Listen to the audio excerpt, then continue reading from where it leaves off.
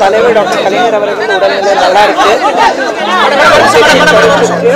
Doctors நல்ல பார்த்துட்டு இருக்காங்க ஆஹ் நம்ம மத்தியில் வந்து நம்ம கிட்ட பேச கை அனுப்புறாரு நம்ம தலைவர் இதுக்கு முன்னாடி எப்படி பார்த்துருக்கோம் அப்பேற்பட்ட ஒரு சிங்கத்தை நம்ம திருப்பி கூடிய சீக்கிரத்துல பார்க்க போறோம் உடல்நிலை நல்லா இருக்கு உடல்நிலை எப்படி இருக்கிறது என்பதை விசாரிப்பதற்காக திரு ஸ்டாலின் அவர்களை சந்தித்தேன்.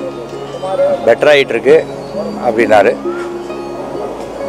அவருடைய பல லட்சக்கணக்கான தொண்டர்களுடைய பிரேயர் கண்டிப்பாக அவரை அவருடைய ஆயுளை நீண்ட ஆயுளாக மாற்றும் என்ற நம்பிக்கை எனக்கு உண்டு.